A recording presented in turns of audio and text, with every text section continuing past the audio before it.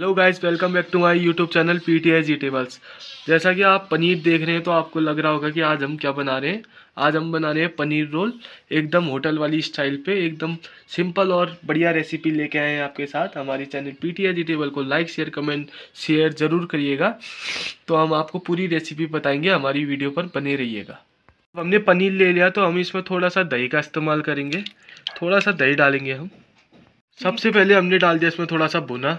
जीरा, उसके बाद हम डालेंगे इसमें थोड़ा सा कश्मीरी मिर्ची, जिसमें डार्क कम होती है और कलर बहुत अच्छा आता है इस पर थोड़ा सा स्वाद अनुसार हम इसमें हल्दी डालेंगे, आप देख सकते हैं।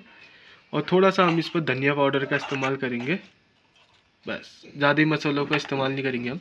थोड़ा सा हम चाट मसाला का इस्तेमाल करेंगे, जिससे और भी अच्छा टेस्ट आता है। थोड़ा सा हम कस्तूरी मेथी डालेंगे इस पर देखो। मैंने थोड़ा सा लंबा लंबा स्लाइस पे प्याज काट लिया और थोड़ा सा शिमला मिर्च काट लिया और थोड़ा सा लंबा स्लाइस पे टमाटर। अब हम इसको इसमें मिक्स करेंगे, आपको दिखाते हैं। अब हम थोड़ा सा स्वाद अनुसार इसमें प्याज डालेंगे, एकदम लंबा लंबा कटा। थोड़ा सा हम शिमला मिर्च डालेंगे अपने स्वाद अनुसार ये, लंबा कटा। और थोड़ा सा हम इसमें टमाटर डालेंगे, ये लंबा लंबा कटा।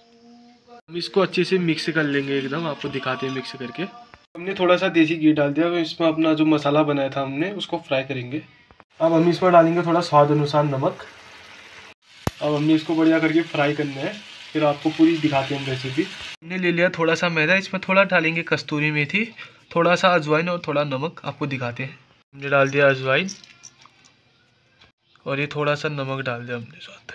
एकदम ऐसा सॉफ्ट सा डो लगा के इसको करीबन तेल लगा के इस पर हल्का सा बीस बीस मिनट के लिए इसको रेस्ट दे देना। अब हमने जो मैदा था उसको 20 मिनट रेस्ट देने के बाद इसमें हल्का सा तेल लगा के इसको हल्के हाथों से पेल लेंगे। आपको दिखाते हैं हम। अब हमें एक तरफ़ से ऐसे करके फोल्ड करना है और दूसरी तरफ़ से ऐसे।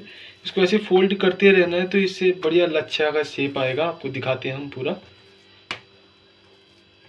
फोल्ड करके ऐसा बना दिया है। अब हम इसको ऐसे करके हल्के हाथों से गोल करते रहेंगे। ये देखिए।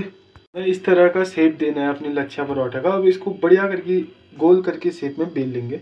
अब हमने लच्छा पराठा एक तरफ़ से सेक दिया, और इसमें हल्का हल्का हाथ से बटर लगाएँगे, देखिए। कितना शानदार हमारा लच्छा पराठा बना। इसमें बटर लगा लेंगे, हल्के हाथ से।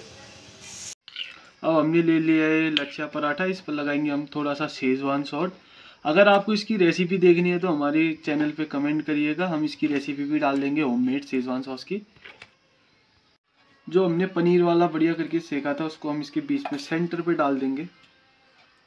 अब हम इस पर थोड़ा सा लंबा लंबा हमने प्याज काटा है स्लाइसिस पे।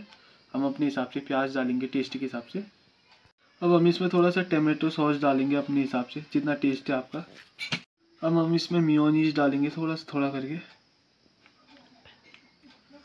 अब हमने इसको फोल्ड करना है ऐसे करके, बढ़िया करके। और ये हमारा एकदम होममेड पनीर रोल एकदम रेडी है, ये देख सकते हो आप। फीलिंग एकदम कितनी प्यारी करी हमने।